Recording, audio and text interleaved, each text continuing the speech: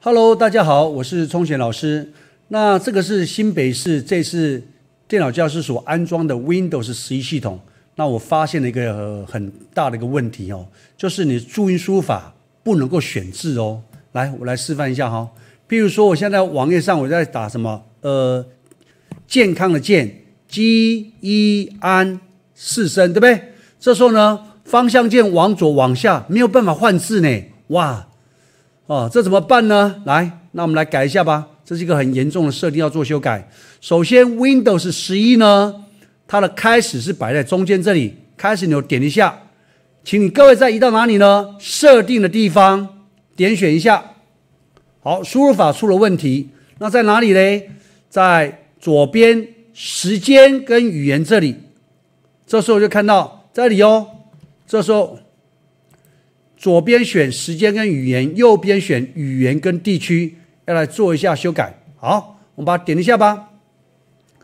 点进来以后呢，你就看到一个中文在这里，有看到吗？好了，那点右边的三个点点，点右边这三个点点哦。这时候点进来的时候，再来点选语言选选项。呃，首先呢，在注音输入法这里呢，好。右边这三个点点，再点一下，我们要修改微软注音输入法，点起来，再点选键盘选项。好，在上面这里的一般，我点喽。那各位看一下，呃，我现在找到解决的方案是这里。我们放大一点来看看，请各位再把它改成使用旧版的微软注音。好，当我把它点选这个开起来，这里按确定，这时候已经启动微软的注音。这时候我再点一次给大家看吧，来，我再打一遍，G E N 键，这时候方向键往左跟往下，这时候就可以选字了。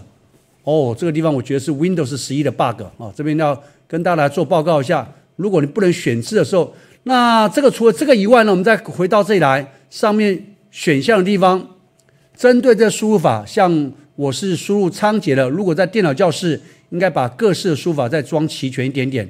所以在做什么呢？好，我们这边点选，点这里，呃，再点选新增，这里语言地区这里，我再来新增键盘，我点选什么？微软的仓颉，再把微软仓颉加进来，还没完，一样点选三个点点，我也试过喽。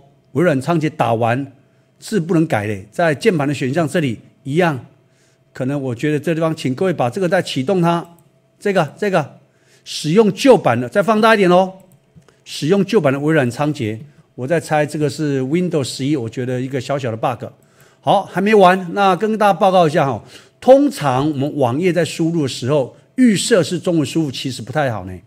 我们建议你可以把英文的输入法加进来，这样我们在输入网页的时候，打在网址才不会一出现就出现 purple moment 哦。打英文的呃预设。跟次数是比打中文还多，所以我们建议各位在你的 Windows 十一在新增语言啊这边打个 English E N 一，你看我刚刚打不是刻出来吗？又来了 E N G L I S H，呃，这时候请你把美国版的英文书法加进来 English United States 这里点起来，点这里，再点选下一步做安装。啊，安装以后呢，哦这边全装起来其实也 OK 啦。安装起来，那就让它装吧。那这个不用管它，还没完哦。惯用语言的时候呢，注意要把这个英文拖这六个点点往上拉，这样就可以了啊。这样就完成了我们输入法的一个设定。